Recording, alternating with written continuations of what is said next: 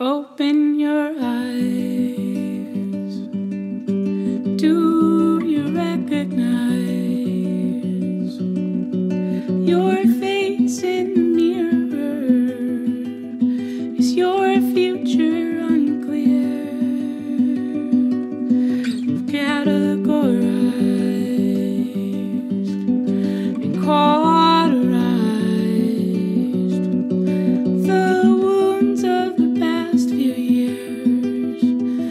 And now you're just standing here with your hands parallel